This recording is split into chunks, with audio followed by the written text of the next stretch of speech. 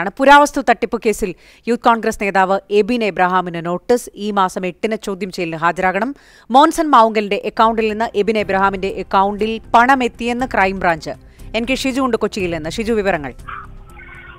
Anime പുരാവസ്തു തട്ടിപ്പ് കേസുമായി ബന്ധപ്പെട്ട് പോലീസ് നേരത്തെ തന്നെ കേസ് അന്വേഷിക്കുന്ന ക്രൈംബ്രാഞ്ച് ഈ കേസിൽ യൂത്ത് കോൺഗ്രസിന്റെ തിരു മണ്ഡലം ഭാരവാഹിയായിട്ടുള്ള എബിൻ അബ്രഹാമിനെ പ്രതി ചേർത്ത് കോടതിയിൽ റിപ്പോർട്ട് സമർപ്പിച്ചിരുന്നു. ഇതിന് പിന്നാലെയാണ് ഈ മാസം എട്ടിന് കളമശ്ശേരി ക്രൈംബ്രാഞ്ച് ഓഫീസിൽ ഹാജരാകാൻ ആവശ്യപ്പെട്ടുകൊണ്ട് നോട്ടീസ് നൽകിയിട്ടുള്ളത്. ഈ കെ പി സി സി പ്രസിഡന്റിന്റെ പി എ എന്ന് പരിചയപ്പെടുത്തിയ എബിൻ അബ്രഹാം ആ മോൻസണിൽ നിന്ന് വലിയ തുക സ്വന്തം അക്കൗണ്ടിലേക്ക് വാങ്ങി എന്നാണ് ഇപ്പോൾ ക്രൈംബ്രാഞ്ച് കണ്ടെത്തിയിട്ടുള്ളത്. ഇതിന്റെ അടിസ്ഥാനത്തിലാണ് അദ്ദേഹത്തെ പ്രതി ചേർത്ത് റിപ്പോർട്ട് ചെയ്തിട്ടുള്ളത് ചോദ്യം ചെയ്യൽ എട്ടിന് നടക്കും. അതിനുശേഷമായിരിക്കും നേരത്തെ എസ് സുധാകരന് വേണ്ടി ഇടനിലക്കാരനായത് എബിൻ എബ്രഹാം ആരോപണങ്ങൾ ഉണ്ട് ഉണ്ടായിട്ടുണ്ട്.